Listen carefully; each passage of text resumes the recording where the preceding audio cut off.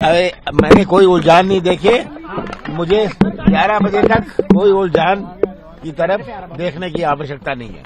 Sir confident है? मैं बहुत कॉन्फिडेंट हूँ। मुझे मध्य प्रदेश के मतदाताओं पर पूरा विश्वास है। मैं ये सीटें मीटे में नहीं जाता। मैं मतदाताओं पर कोई उलझान मैंने देखे नहीं। मुझे मध्य प्रदेश के मतदाताओं पर पूरा विश्वास है कि वह अपना भविष्य सुरक्षित रखेंगे। ये सब साढ़े दस ग्यारह बजे।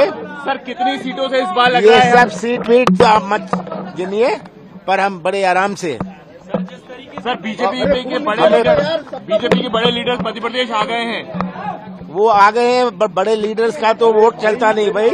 वोट तो पब्लिक का चलता है। सर सरकार बन रही है। आप, आप लोग क्या करिएगा?